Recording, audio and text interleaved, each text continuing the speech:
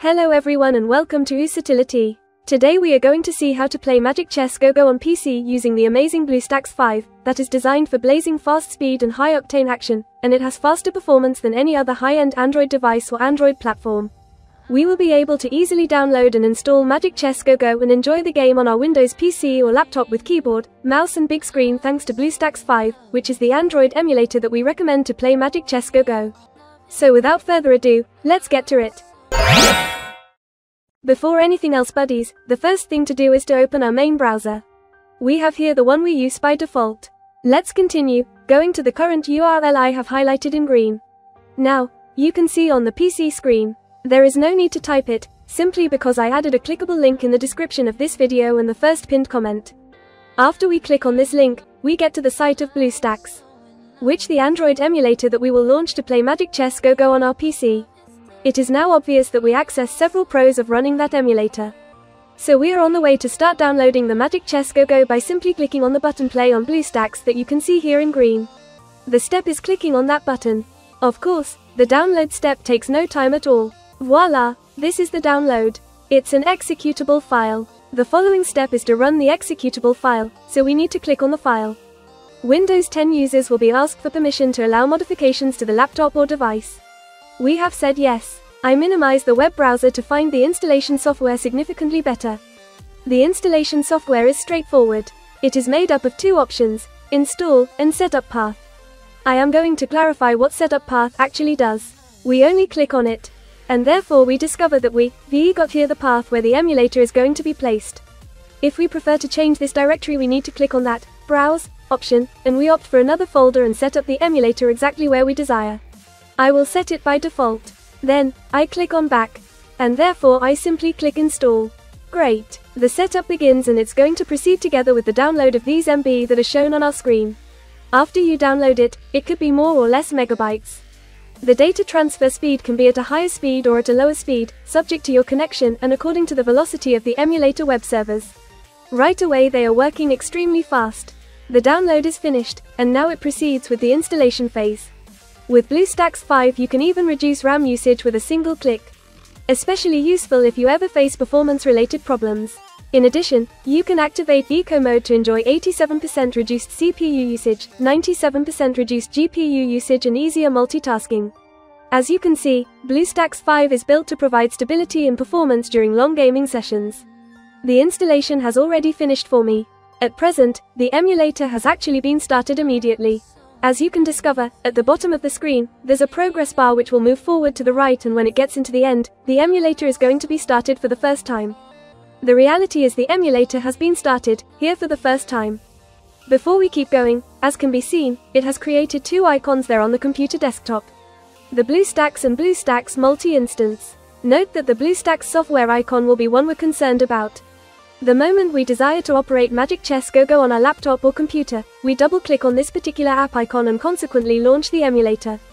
The BlueStacks multi-instance icon allows you to launch multiple emulator instances.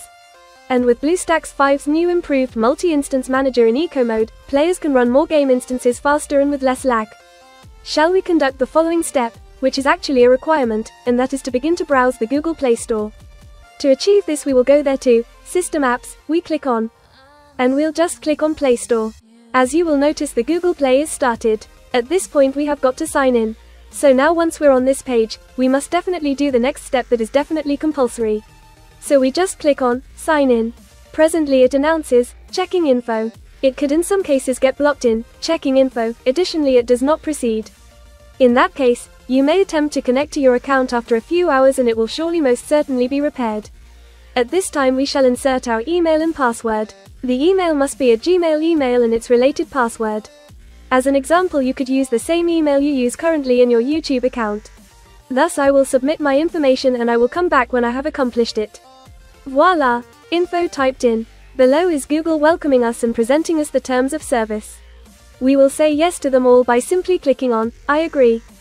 Following that, it allow us to save to the Google Cloud. You might let it selected and it will generate a backup of the data files on that device to Google Drive. I won't select it, you do what you want. We click accept. The Google Play Store is started automatically and on autopilot. To install the application, we have to visit the emulator desktop for Android by double-clicking on that icon indicated green colored. At this point that we are discovering the desktop of this Android emulator, we can see that we have there the install video game button. We then click on this button.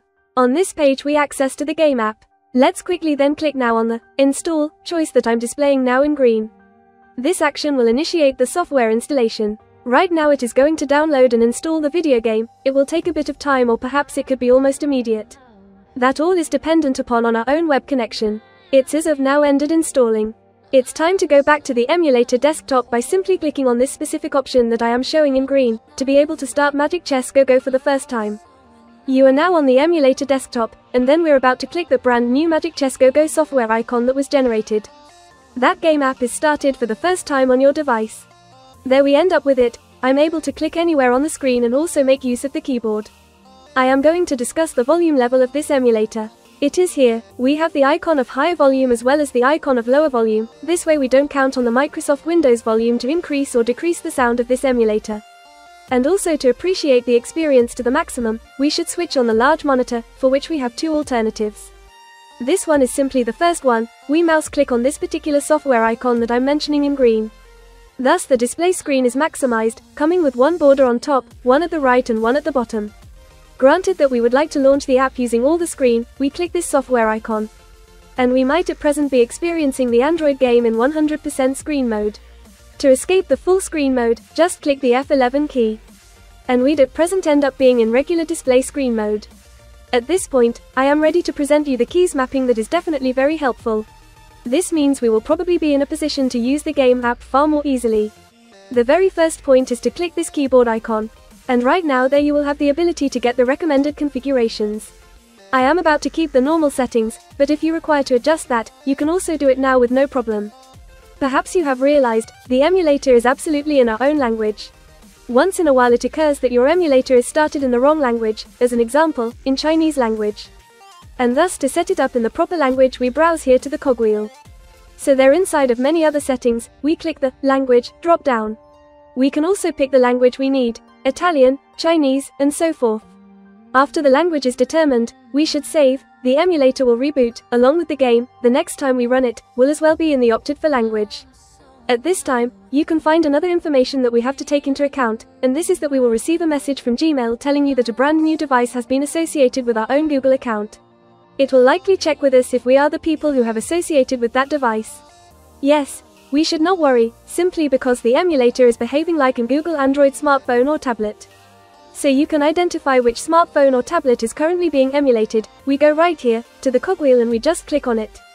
Let's browse here to the model choice. And now we learn that the emulator is simulating a Samsung cell phone. And so we're going to receive an email saying that a new Samsung device has been connected to our Google account. This is it guys, so much for our video user demo. I hope you appreciated it, particularly that you thought it was useful.